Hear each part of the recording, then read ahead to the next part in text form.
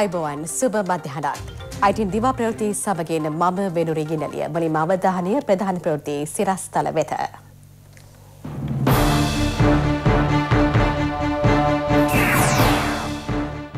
වැඩි බදු අමතර අය කිරීම එපා. ජනපති පළත් සභාවලට දන්පයි. මුදල් පනත් කෙටුම්පත් කිහිපයක් පාර්ලිමේන්තුවට චන්ද විමසීමටත් සූදානමින්. සයින්ද මරදු නගර සභාවක් කිරීම අත්හිටුවේ. පාසල් චාරිකාවේ ගිය දරුවන් හතර දෙනෙකු දේරකුසාට පිළිවීම ගැන පරීක්ෂණ. ජර්මනයේ වෙඩි තැබීම් අට දෙනෙකු ජීවිතක්ෂයට.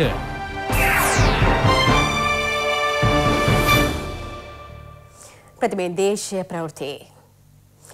වැඩිපතු හා අමතර අයකිරීම් අතිටුවන්නයි ජනාධිපති ගෝටාබය රාජපක්ෂ මැතුමා පලා සභාවලට උපදෙස් දී තිබෙනවා.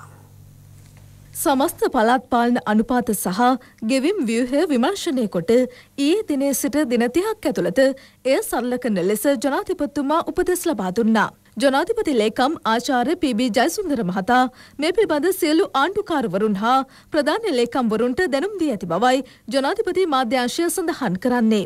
රටේ සමස්ත බදු සහ බදු නොවන පද්ධති සරල කිරීමට රජය උත්සාහ දරමින් සිටිනවා. ජන ජීවිතය පහසු කිරීම, ගනුදෙනු පිරිවැය අඩු කිරීම රජයේ අපේක්ෂාවයි. දූෂණ සහ අක්‍රමිකතා පිටුදැකීම මෙන්ම කුඩා ආයතනවල සිට මහා පරිමාණ සමාකම් දක්වා ව්‍යාපාර සඳහා හිතකර පරිසරයක් නිර්මාණය කර ගැනීමද රජයේ ඉලක්කය වේ තිබෙනවා. රජය සමස්ත සංවර්ධන දැක්ම අඩාල කරමින් පළත් සභා සහ පළත් පාලන ආයතන විවිධ බදු අනුපාත මෙන්ම අයකිරීම් ඉහළ දැමීම සිදු කර ඇති බව පෙනී ගොස් තිබෙනවා. එය සැලකිල්ලට ගනිමින් සරල පාරදුෂ්‍ය හා දැරිය හැකි අයකිරීම් ව්‍යෝහයක් හඳුන්වා දෙන ලෙසටද ජනාධිපති ලේකම්වරයා ආණ්ඩුකාරවරුන්ට දැනුම් දුන්නා. සයින්දමුර්දු ප්‍රදේශය විශේෂ නගර සභාවක් කිරීම සඳහා දෙදහස් දහට වසරේදී ෆයිස මුස්තාපා හිටපු අමාත්‍යවරයා කළ යෝජනාව ඉදිරියට ගෙන යාම තාවකාලිකව අත්හිටුවීමට කැබිනට් අනුමැතිය හිමි වුණා. කැබිනට් තින දැනුම් දීමේ මාධ්‍ය හමුවේදී අමාත්‍ය ආචාර්ය බන්දුල ගුණවර්ධන මහතා මේ පිළිබඳ මාධ්‍යවේදීන් දැනුවත් කළා. සයින්ද මරුදු ප්‍රදේශයේ විශේෂ නගර සභාවක් කිරීම සඳහා යෝජනාවක් දෙදස් දහට වර්ෂයේදී පයිස මුස්ථාප ඇමැත්තුමා කැබිනට් මණ්ඩලයට යෝජනාවක් ඉදිරිපත් කරලා තියෙන. පයිස මුස්ථාප අමාත්‍යතුමා ඉදිරිපත් කරපු කැබිනට් පත්‍රිකාවක නියමයන් ඉදිරියට ගෙන යාම තමයි කරලා තියෙන. නමුත් කැබිනට් මණ්ඩේ තීරණය කළා එලෙසින් රටේ කිස්ථානයකට පමණක් නොව අනිත් පළාත්වලත් මෙමැනි අවශ්‍යතා තිබෙනවා. ඒ නිසා මේ පිළිබඳ පළත්පාලන ස්වදේශ කටයුතු අමාත්‍යන්සේ සමස්ත රට සලකා බලා අවශ්‍ය කරන විවිධ ප්‍රදේශ වලට පළාත්පාලන ආයතන බල ප්‍රදේශ වෙනස් කිරීමේ අවශ්‍යතාවයක් තියෙනවා නම් රටටම එකවර කරන්න කියන තීරණය තමයි දුන්නේ. මේ පයිස මුස්ථාප ඇමැත්තුමාගේ දෙදස් දාටේ සම්මත වෙච්ච යෝජනාව ඉදිරියට ගෙන යාම තාවකාලික වශයෙන් අත්හිටවන්නට කියන එක තමයි තීන්දුව කළේ. ලබන මහකන්නේ සිට කාබනික පොහොර නොමිලේ ලබාදීමට කැබිනට් අනුමැතිය හිමි වුණා. කෘෂිකර්ම කටයුතු පිළිබඳ අමාත්‍ය චමන් රාජපක්ෂ මැත්තුමා ඉදිරිපත් කළ යෝජනාවක් කාබනික පෝර ඉදිරි කන්නේ සිට නොමිලේ ලබා දෙන්න. මේ පෝර රජයේ විසින් මිලදීගෙන කිසිදු ගාස්තුවක් අය නොකොට. සියයට සීයක්ම සහනාධාරයක් වශයෙන් නියමු ව්‍යාපෘතියක් සඳහා තෝරාගත්ත ප්‍රදේශවල ගොවි ජනතාවට අකණ්ඩව කන්න හතරක් ලබා දෙනවා. ඒ තුළින් වසවිසෙන් තොර කාබනික පෝර භාවිතයෙන් කරන ගොවිතැනක් බවට අනාගත ශ්‍රී ලංකාවේ ගොවිතැන පරිවර්තනය කරන්නට කෘෂිකර්ම අමාත්‍යතුමා බලාපොරොත්තු වෙනවා. සුළු සිද්ධීන් පදනම් කර ගනිමින් සේවය අතහැරයාමට නියෝග ලැබූ පොලිසිය සහ පොලිස් විශේෂ කාර්ය බලකායේ නිලධාරීන් යළි එම තනතුරුවලට බඳවා ගැනීම සඳහා අභියාචනා කමිටුවක් පත් කිරීමටද කැබිනට් අනුමැතිය හිමි වුණා. කලින් පොලිස් දෙපාර්තමේන්තුවේ විශේෂ කාර්ය බලකායේ සේවය කරලා යම් යම් සුළුසුළු හේතුන් නිසා සේවය අතරයාමේ නියෝගය ලබපු පන්දාස් නමසී අසු හත් දෙනෙක් සිටින බව ගනම් බල්ල තියෙනවා. ඉතින් ජාතික ආරක්ෂාවේ වැදගත්කමත් ඔවුන්ට ලබල දීර තියෙන පුහුණුවත් අභ්‍යාවුද භාවිතය පිළිබඳ හැකියාවත් යනාදිය සලකා බලා මේ පන්දාස් නමසී අසූ හත නැවත පොලිස් සේවයට හා විශේෂ කාර්ය බලකායට බඳව ගැනීම සඳහා අමාත්‍යන්සවල උසස් නිර්ධාරින්ගෙන් සමන්විත අභියාචනා කමිටුවක් පත් කරන්න කැබිනට් මණ්ඩේ අනුමැතිය ලබා දුන්න. අඩුතරමේ අවුරුද්ධකවත් කාල පරිච්චේදයක් උතුරු නැගෙනීර පලාත්තේ සේවය කරලා තියෙනවනම් තමයි මේ අයිති හිමිවෙන්. වයස පනාට අඩුනම් මේ අභ්‍යාචනා කමිටුවට අභ්‍යාචනයක් ඉදිරිපත් කළ නැවතත් පොලිස් සේවයට තමන් හිටපු තනතුරුවලට බැඳෙන්න අවස්ථාවක් ලබල දීලා තිබෙනවා. යහපාලන ආණ්ඩු සමයේ ඉදිරිපත් කළ ජිනීවා මානව හිමිකම් කවුන්සිලයේ තිය එක යෝජනාවට සම අනුග්‍රහකත්වය දැක්වීමෙන් වත්මන් රජය ඉවත්වීමට තීරණය කළේ ජාතියේ ප්‍රගතිය වෙනුවෙන් බව අමාත්‍ය දිනේශ් ගුණවර්ධන මහතා පවසනවා. අද පාර්ලිමේන්තුවේදී අමාත්‍යවරයා මේ බව කියා සිටියා. එක්සත් ජාතීන්ගේ සංවිධානය සමග මිත්‍රශීලීව කටයුතු කර මෙම තීන්ද්‍රය එළිමි බවයි අමාත්‍යවරයා ප්‍රකාශ කරන්නේ. පාර්ලිමේන්තුවේ වැඩිදුර තොරතුරු ගෙනෙන්නේ අප නියෝජිත අසංක රත්නායක. අද දිනේ පාර්ලිමේන්තුවේ ප්‍රධාන කටයුතු වශයෙන් ප්‍රථමයෙන් පසුගියදා රජය ඉදිරිපත් කළ අතුරු සම්මත ගිණුම විවාදයට ගැනීමටයි නියමිතව තිබුණේ. කෙසේ වෙතත් සභානායක දිනේෂ් ගුණවර්ධන මහතා සඳහන් කළේ එම අතුරු සම්මත ගිණුම සඳහා ගත් රජයේ තීරණයට මීට පෙර පැවති පක්ෂ නායක රැස්වීමකදී පක්ෂය එකඟ වී සිටි බවයි. කෙසේ වෙතත් ඒ මතය වෙනස් වීමක් මේ වන විට වාර්තා වෙනව ඇති බවින් එකඟතාවයේ කඩවීමක් සිදු ඇති බවයි ඒ මහතා සඳහන් කළේ. එබැවින් අතුරු සම්බන්ධ ගිණුම විවාදයට පෙර නැවත පක්ෂ නායක රැස්වීමක් හැඳවා සාකච්ඡා කළ යුතු බවයි ඒ මහතා ප්‍රකාශ කළේ. ඒ හේතුවෙන් පෙරවරු 10 30 පක්ෂ නායක රැස්වීමක් සඳහා පාර්ලිමේන්තුව තාවකාලිකව අත්හිටවනු ලැබුවා. මේ අතර යහපාලන ආණ්ඩුව සමය ඉදිරිපත් කළ ජිනීවා මානව හිමිකම් කවුන්සිලේ 31 යෝජනාවට සම අනුග්‍රහය දැක්වීමෙන් ඉවත් වීමට කැබිනට් මණ්ඩලයේ අනුමැතිය හිමි වූ බව අමාත්‍ය දිනේෂ් ගුණවර්ධන මහතා පාර්ලිමේන්තුවට දැනුම් දුන්නා. දෙදස් පාලවේ මලයට පත් රජය මානව හිමිකම් කවුන්සලේ පෙරනෝ වියරු පියවරක් තබමින් රාජ්‍ය විෂය කරගත් සම්මත පිළිබඳ ශ්‍රී ලංකාවේ විදේශ ප්‍රතිපත්මේ ස්ථාවරයට පටහැනිව යමින් ශ්‍රී ලංකාවේ තත්ත්වය සම්බන්ධයෙන් වූ එක්සත් ජාතීන්ගේ මානව කවුන්සලේ තිහ එක යෝජනාව සම්මත කිරීමට සම කෝස් පන්ස අනුග්‍රහත්වය දැක්විය. මෙය කරන ලැබී අමාත්‍ය මණ්ඩලේ පාර්ලිමේන්තුවේ ශ්‍රී ලංකා ජනතාවගේ අනුමැතකින් තොර වූ ප්‍රජාතන්ත්‍රවාදී මූලදරවයන් සියල්ලට පටහැනිව මේ කරුණු සම්බන්ධයෙන් ඒ අවස්ථාවේ තමන්ගේ මතය විමසුණු නැලවූ බව එවකට ජනාධිපතිදූරේ හෙබ වූ මෛත්‍රපාල සිරිසේන මැතිතුමාද ප්‍රකාශ කර ඇත. මුළු පාර්ලිමේන්තුම දන්න ඔබතුමත් දන්න නෙස්පී සාමිවරයා විසින් එක්සත් රාජධාන පාර්ලිමේන්තුවේදී ඉදිරිපත් කරන ලද වාර්තාවල් වලද සඳහන් වන්නේ මේ සංඛ්‍යා සියල්ල වැරදි බවය. තියක යෝජනා සම්මතය ක්‍රියාත්ම කිරීමට. එම රජය සහයකල දබාදුන් සම අනුග්‍රහත්වය පසුගේ රස විසින් අකණ්ඩව පවත්වාගෙන ගියේ. උක්ත කරුණු සැලකිල්ලට ගනිමින්. ඉදිරියේ පැවැත්වීමට නියමිත මානව හිමිකවන් කවුන්සලේ හතලිස් තුන්වැනි සැසිවාරය කෙරෙහි ශ්‍රී ලංකාවේ රජයේ ප්‍රවේශය සම්බන්ධයෙන් පියවර ගැනීමට මෙම උපායමාර්ග සක්ෂත් කර ගැනීමේලා අවශ්‍ය කරන රාජතාන්ත්‍රික මුලපිරීම් කිරීමටත් අමාත්‍ය මණ්ඩලේ අනුමතය ලැබී ඇත. සම අනුග්‍රහත්වයෙන් වලින් ඉවත්වීමට ශ්‍රී ලංකාව ගත් තීරණය ප්‍රකාශ කිරීමට රජයේ තීරණය කර ඇත. මේ වැදගත් ප්‍රකාශනය අමාත්‍ය මණ්ඩලේ අතිකල් ජනාධිපතිතුමා ප්‍රධාන තීරණය කරේ අපේ රටේ ප්‍රගතියට සැකයට භාජනය වී ඇති මේ භයානක අනතුරෙන් රට මුදවාගෙන අලුත් ගමනක් ඇති කිරීමට එක්සත් ජාතීන්ගේ සංවිධානයේ සමග වැඩ කරන ඒ මිත්‍රත්වය එල්ලෙස්සම ආරක්ෂා කර ගනිමින් කටයුතු කිරීමේ ප්‍රතිපත්තිය සිට බව කරු කතානායකතුමනි රජය වෙනුවෙන් අද දින විදේශ අමාත්‍යවරයා වශයෙන් මේ ප්‍රකාශය කිරීමට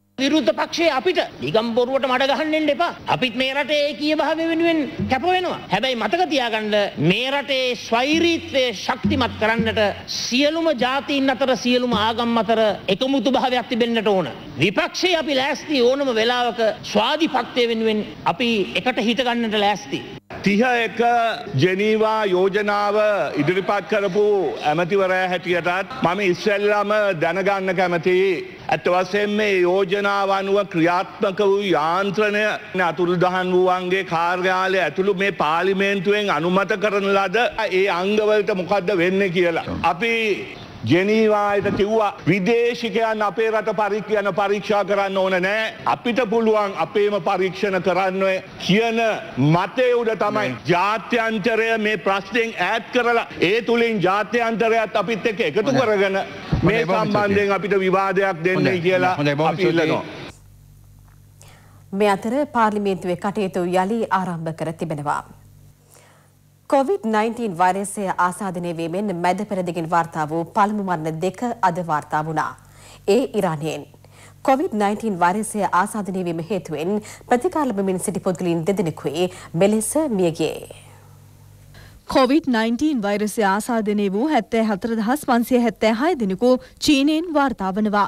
මියගිය සංඛ්‍යාව දෙදහස් එකසිය දහටක්. ඊයේ දිනේ අවසන් වන විට වෛරසයෙන් පුද්ගලයින් එකසේ දා හතර දෙනෙකු මියගියා. ඊයේ දිනේදී නවරෝගීන් තුන්සිය අනු හතර දෙනෙකු හඳුනාගත් අතර පෙරේදා දිනයට සාපේක්ෂව එය සැලකිය යුතු අඩුවීමක් බවයි වාර්තා වන්නේ. පෙරේදා දිනේදී හඳුනාගත් නව වෛරස ආසාධිතයින් සංඛ්‍යාව එදහස් සත්සිය හතලිස් නවයක්. දකුණු කොරියාවෙන් කොවිD-19 වෛරසය ආසාධිතීන් තිස්සෙක් දෙනෙකු ඊයේ හඳුනාගත්තා. එ අනුව රෙටින් වාර්තාවන වෛරස ආසාධිතීන් සංඛ්‍යාව අසූ දෙකක්. ජපානයේ ඩයිමන් ප්‍රින්සස් නෞකාවේ සිටි ජපාන ජාතිකයින් දෙදෙනෙකු වෛරසය ආසාධනය වීම හේතුවෙන් මිය ගියා. එම නෞකාවේ පුද්ගලයින් හයසේවිසියෙක් දෙනෙකුට වෛරසය ආසාධනය වී ඇති බවටයි හඳුනාගෙන ඇත්තේ. නෞකාවේ සිටි හොංකොන් ජාතිකින් සේකට වැඩි පිරිසක් ගෙන්වා ගැනීමට එරට රජය කටයුතු කළා. ඔස්ට්‍රේලියා ජාතිකින් එකසි අසූ දෙනෙකුද නැවතත් පැමිණ තිබෙනවා. ඊජිප්තුවෙන් වාර්තා වූ වෛරස ආසාධිත පුද්ගලයා මේ වන විට සුව වෙමින් පවතිනවා. මේ අතර කොරුණා ආසාධිතින් දෙදෙනෙකු වෛරසය පතුරවන අයුරු දැක්වෙන වීඩියෝවක් මේ දිනවල අන්තර්ජාලය පුරා පැතිරෙනවා. මෙහි සත්‍ය අසත්‍යතාවය පිළිබඳ කිසිදු තොරතුරක් මේ වනතෙක් වාර්තා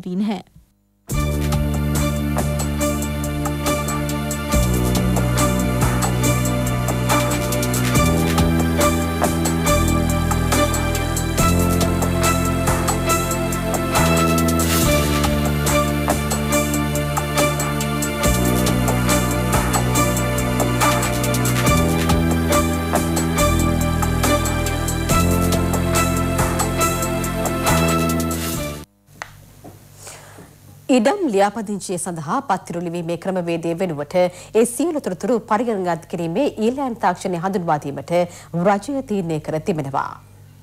එදහස් නවසේ හැට හතර වසරේදී රෙජිස්ට්‍රාර් ජෙනරාල් දෙපාර්තමේන්තුව ආරම්භ කළේ ඉඩම් ලියාපදිංචි කිරීම සඳහායි. එදහස් අටසිය හැට හත වසරේ සිට උපැන්න විවාහ හා මරණ ලියාපදිංචි කිරීමේ කටයුතුද මෙම දෙපාර්තමේන්තුවට පැවරුණා.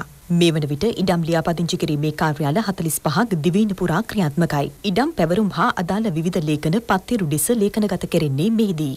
මෙම පත්තිරු අස්ථානගත වීම පිටු ඉරා ඉවත් කිරීම විකෘති කිරීම යන නීති විරෝධී ක්‍රියා මෙන්ම ස්වභාවිකව දි รา පත් වීම හේතුවෙන් ඉඩම් පැවරීමකදී අදාළ ලේඛන ලබා ගැනීම දුෂ්කර වී තිබෙනවා. මේ සම්බන්ධ පැමිණිලි සලකා බැලීමෙන් අනතුරුවයි පැරණි ලේඛන ස්කෑන් කිරීමටත් සියලු පත්තිරු ඊලෑන් නමින් ඊ පිටපතක් ලෙස නිකුත් කිරීමටත් රජය තීරණය කර ඇත්තේ. දැනට උපැන්න විවාහ මරණ සහතික ලබා ගන්නා ආකාරයටම ඉඩම් ඔප්පු සහ වෙනත් ලියකියවිලිද ලබා ගැනීමේ හැකියාව ජනතාවට මෙමගින් උදාවනවා. මෙම තොරතුරු හෙළි වූයේ රාජ්‍ය අමාත්‍ය මහින්ද සමරසිංහ මහතාගේ ප්‍රධානත්වයෙන් අමාත්‍යංශයේ පැවති මාධ්‍ය හමුවකදී. මේ විද්‍යුත් ක්‍රමය ක්‍රියාත්මක කරාට පස්සේ ඕනම කෙනෙකුට තාක්ෂණය හරහා තමන්ගේ ලියකිවිලි ලබා ගැනීමේ හැකියාව අපි ලබා දෙනවා. ඒ ලියකිවිලි බැංකුවකට හෝ වෙනත් ගනුදෙනුවකට ඉදිරිපත් කරන්න පුළුවන් නීති අනුකූල තත්ත්වයක් එක්ක තමයි මේ වැඩපිළිවෙල අපි ක්‍රියාත්මක කරන්න පටන් ගන්නේ. ප්‍රකට ලේඛකෙකු වන ආචාර්ය මිරැන්ඩෝ ඔබේසේකර මහතා අභව ප්‍රාප්ත වුණා. රාවණ පුරාවෘත්තය පිළිබඳ පර්යේෂණ ග්‍රන්ථ රැසක් ලියාපල කළ ආචාර්ය මිරෙන්ඩෝ ඔබේසේකර මහතා අභාව ප්‍රාප්ත වන විට හැත්තෑ අටවන වීහි පසු වුණා. රාවනා පුරාවෘත්තය සම්බන්ධයෙන් බොහෝ දෙනෙකු තුළ උනන්දුවක් ඇතිකිරීමට ඒ මහතාගේ පර්යේෂණ තොරතුරු හේතු වුණා. අභාව ප්‍රාප්ත ආචාර්ය මිරෙන්ඩෝ ඔබේසේකර මහතාගේ දේහය මාතලේ මාදිපොළ තලකිරියාගම පිහිටි නිවසේ තැන්පත් කර තිබෙනවා. අවසන් කටයුතු මාදිපොළ සුසාන භූමියේදී හෙට සිදු කිරීමට නියමිතයි. මේ අතර ප්‍රවීණ ටෙලිනාට්‍ය අධ්‍යක්ෂවරයෙකු සහ මාධ්‍යවේදියෙකු අනුරමාදව ජයසේකර මහතා අභව ප්‍රාප්ත වුණා. හදිස්ත්‍යාබාධයක් හේතුවෙන් ඒ මහතා අද පෙරවරුවේ අභව ප්‍රාප්ත වුණේ. ඓතිහාසික කතා මූලාශ්‍ර කරගනිමින් ඔහු සිය නිර්මාණ සිදු කිරීම විශේෂත්වයක්.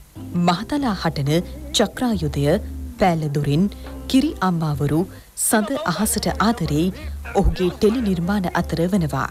අභව ප්‍රාප්ත අනුරමාතව ජයසේකර මහතා සිය නිර්මාණ වෙනුවෙන් සම්මාන රසක්ද ලබා තිබෙනවා. ටෙලි නිර්මාණවේදීන්ගේ සංසදයේ සභාපතිවරයෙකු ලෙසද කටයුතු කර ඇති ඒ මහතා ස්වාධීන රූපවාහිනිය සමග සමීපව කටයුතු කරමින් එහි අධ්‍යක්ෂ මණ්ඩල සමාජිකයෙකු ලෙසද කලක් කටයුතු කළා. අභව ප්‍රාප්ත අනුරවාතව ජයසේකර මහතාගේ දේහය පිළිබඳ අවසන් කටයුතු පසුව දැනුම් දීමට නියමිතයි. අතුරු සම්මත ගෙනුම පාර්ලිමේන්තුවට ඉදිරිපත් කරන්නේ නැති බව අමාත්‍ය දිනේෂ් ගුණවර්ධන මහතා පාර්ලිමේන්තුවට දැනුම් දුන්නා. ඊට සහාය නොදෙන බවට පක්ෂ නායක රැස්වීමේදී තීරණයක් ගෙන ඇති බැවින් ඒ ඉදිරිපත් නොකරන බැවින් අමාත්‍යවරයා තවදුරටත් කියා සිටියේ. මෙම අතුරු සම්මත ගෙනුම ගැනීමට රජය තීරණය කළේ ඖෂධ වැනි අත්‍යවශ්‍ය සේවා සඳහායි. වෛද්‍ය සාෆී සහබ්දීන්ගේ නඩු විභාගය කඩිනමින් අවසන් කර වැරදිකරුවන්ට දඩුවම් ලබා දිය යුතු බව පූජ්‍ය අතුල්ලී රතන ස්වාමීන් වහන්සේ පවසනවා. මාධ්‍යහමුවකට එක්වමින් උන්වහන්සේ මේ බව කියා සිටියා.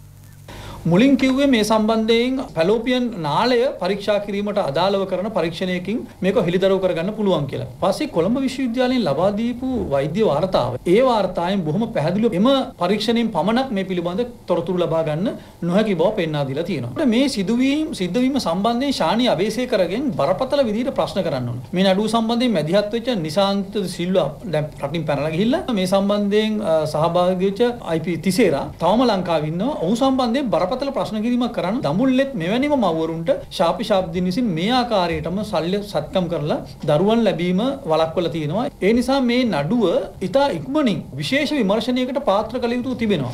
ස්වභාවිකව මාස දෙක තුනකට සැරයක් නඩුව අහනවට වඩා මේ පිළිබඳ විධිමත් විද්‍යාත්මක පරීක්ෂණයක් කළ යුතු වෙනවා. අධ්‍යාපන චාරිකාවක් ගොස් මැදවච්චිය ගෝමරං කඩවල බැවේ දියෙන් නෑමි නිරත වූ පාසල් සිසුන් හතර දෙනෙකු දියරකුසාට බිලි වුණා. දරුවන් තුන් දෙනෙකු මෙවන විට මැදවච්චිය මූලික රෝහලේ ප්‍රතිකාර ලබනවා. හාලියල විද්‍යා විද්‍යාලයේ අධ්‍යාපනය ලබන දරුවන් පිරිසක් අධ්‍යාපන චාරිකාවක් සඳහා මෙවර තෝරාගත්තේ ත්‍රිකුණාමලය ප්‍රදේශයයි. එම චාරිකාව අතරතුර ඔවුන් මෙදවච්චිය ගෝමරන් කඩවල වැවේ දියනෑමට එක්වුණා. ඊයේ පස්වරු හයට පමණ ඔවුන් දීනාමින් සිටියදී දරුවන් හතර දෙනෙකු දියේ ගිලුණා. ඔවුන්ගේ ජීවිත බේරා ගැනීමට සෙසු පිරිසට හැකි වුණේ නැහැ. ඒ සඳහා උත්සාහ දැරූ දරුවන් පිරිසක්ද දිය රකුසාට බිලිවීමට ගියද ඔවුන්ගේ ජීවිත බේරා ගැනීමට හැකි වුණා. හාලියල විද්‍යා විද්‍යාලයේ දහවන ශ්‍රේණියේ ඉගෙනුම ලබන දරුවන් පිරිසකුයි මෙම අවසනාවන්ත සිද්ධියට මුහුණ දුන්නේ. මියගිය දරුවන් ඇටම්පිටිය, ඇල්ල, ගලවුඩ, හිඟුරුගමු යන ප්‍රදේශවල පදිංචිකරුවන්. දහසකුත් එකක් බලාපොරොත්තු සහිතව දරුවන්ට අධ්‍යාපනය ලබා දුන්නද මෙය මහත් අවසනාවන්ත සිද්ධියක් බවයි විද්‍යාලයේ දරුවන්ගේ දෙමව්පියන් ප්‍රකාශ කරන්නේ. වතුරකට වගේ දරුව බස්සනකට නාඩ සුදුසු ස්ථානයක්ද හොයලා බලන්න ඕන හොයලා බලලා තමයි මේවට දාන්න ඕන ගේ අවුරුදු පාකට ඉස්සර මේම ස්කෝලෙම ඉගෙනගත්ත අපොස්ස සාමාන්‍ය පෙළ දරුවන් තුන්දෙනෙක් මුහුන්ද කියලා නැති වුණා. කවුරු හරි අම්මලා තාත්තා හරි යන්න ඕනි කවුරු හරි. ගුරුවරු වුණත් ඉතින් හතට නාන්න දැම්ම එක වැරදි කියලා තමයි මම කියන්නේ. ළමයි නාන්න නැතුව දවස් හතරක් ආවොත් ගෙදර ඉන්නවනේ. හිටපු මහාධිකරණ විනිසුරු ගිහාන් පිළිපිටිය මහතා අත්අඩංගුවට ගැනීම බලපාලමින් අභියාචනාධිකරණයේ නියෝගයක් නිකුත් කළා. තමන් අත්අඩංගුවට ගැනීමට නීතිපතිවරයා පොලිසියට ලබා දී ඇති උපදෙස් අභියෝගයට ලක් කරමින් ගිහාන් පිළිපිටිය මහතා ගොනු කළ රිට් පෙස්සම සලකා බැලීමෙන් අනතුරුවයි අභියාචනාධිකරණය මෙම නියෝගය නිකුත් කළේ. නිසි ක්‍රමවේදයකට අනුකූලව මහේස්ත්‍රාත්වරයෙකු විසින් සිදු කරනු ලබන නියෝගයකට පරිබාහිරව පෙස්සම්කරු අත්අඩංගුවට ගැනීමට හැකියාවක් නැති බව අභියාචනාධිකරණය කියා සිටියා. පෙස්සම යලි සලකා බැලීම මාර්තු 12 වනදාට කල් තැබුණා. දැන් අවධානය ක්‍රීඩා ප්‍රවෘත්ති වෙත. විස්සයි විස්ස කණ්ඩායමේ නායකත්වය යම් හේකින් අහිමි වුවද ඉදිරියටත් ශ්‍රී ලංකා කණ්ඩායම වෙනුවෙන් ක්‍රීඩා කරන බව වේගපන්දු යවන ක්‍රීඩක ලසිත් මාලිංග පවසනවා. බටහිරින්දිය කොදෙව් කණ්ඩායම සමග පැවැත්වෙන එක්දින සහ විස්සයි විස තරගාවලිය පිළිබඳ දැනුවත් කිරීමේ මාධ්‍ය හමුවට එක් වෙමුණුයි ඔහු මේ අදහස් පළ කළේ. බටහිර ඉන්දිය කොදෙව් කණ්ඩායම සමග පැවැත්වෙන එක්දින ක්‍රිකට් තරගාවලියට සහභාගී වන ශ්‍රී ලංකා කණ්ඩායම ප්‍රකාශයට පත් කෙරුණා. දිමුත් කරුණාරත්නගේ නායකත්වයෙන් යුත් ශ්‍රී ලංකා සංචිතයට ක්‍රීඩකයන් 15 දෙනෙකු ඇතුළත්. තිසර පෙරේරාත මෙම සංචිතයට නම් කර තිබීම විශේෂත්වයක්. ආබාධයකට ලක්ව සිටින ධනුෂ්ක ගුණතිලක වෙනුවට ශිහාන් ජයසූරිය සංචිතයට කැඳවා තිබෙනවා. තරගාවලියේ ජයග්‍රාහකයින්ට පිදෙන කුසලානිය මෙහිදී එළි දැක්වුණා. තරඟ තුනකින් සමන්විත ශ්‍රී ලංකා බටහිර ඉන්දිය කොදෙව් එක් දින ක්‍රිකට් තරගාවලියේ පළමු තරගය අනිද්දා කොළඹ SSC ක්‍රීඩාංගණයේදී පැවැත්වෙනවා. වෙසිලිස් කියන්නේ ගොඩක් හොඳ කණ්ඩායමක් ඔවුන්ගේ ජේෂ්ඨ ක්‍රීඩකයෝ නැවත කණ්ඩායමට පැමිණලා තියෙනවා. ඉතින් බලාපොරොත්තු වෙන හොඳ තරගාවලියක් ලබා දෙන්න. තෝරා ගැනීමේදී සලකා බැලීමක් නොකර තියෙනවද? අර ප්‍රැක්ටිස් මැච් එක කරාට පස්සේ සිලෙක්ෂන් පැත්ත නම් මම හිතන්නේ ඒක සිලෙක්ෂන් කමිටිකින් තමයි ආන්න ඕනේ. අසන්ත ඩිමල්ගෙන් තමයි ආන්න ඕනේ මට අදාළ ප්‍රශ්න නෙමෙයි. බටහිරි ඉන්දිය කොදව් කණ්ඩායම සමඟ පැවැත්වීමට නියමිත විස්සයි විස්ස තරගාවලිය පිළිබඳවද ශ්‍රී ලංකා විස්සයි විස්ස කණ්ඩායමේ නායක ලසිත් මාලිංග මෙහිදී අදහස් පළ කළා. මගෙන් T20 සඳහා ගන්න පුළුවන් දෙයක් තියෙනවා නම් ඒ දේ ලබා ගන්න කියන මගේ ආයතනයක් පැහැදිලි කරලා තියෙනවා. ට්‍රේනින් කවුන්ටර් පැහැදිලි කරලා තියෙනවා. ඒගොල්ලෝ මගෙන් දෙයක් ලබා ගන්න මට මේ අවස්ථාවේ නායකත්වය ලබා දීලා තියෙනවා. මම කණ්ඩායමේ නායකත්වයෙන් ඉවත් කරත් මට ආයතනයෙන් බලාපොරොත්තු වෙන මගේ සහායක් මම ඒ දේ ලබා දෙනවා. මට පුළුවන්කමක් දෙනවා. මම තනි අතින් හරි මැච් එකක් දිනවනවා. ඒක තමයි මම මගේ ක්‍රිකට් එකේ බලාපොරොත්තු ඒ සමගින් අයිටන් දෙවා ප්‍රවෘතියේ නිමාවට පත්වනවා ඔබට සුබ දවසක්. www.itnnews.lk